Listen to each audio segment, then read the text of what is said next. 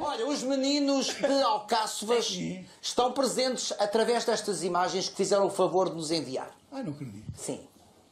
Parabéns a vocês nesta data querida, muitas felicidades.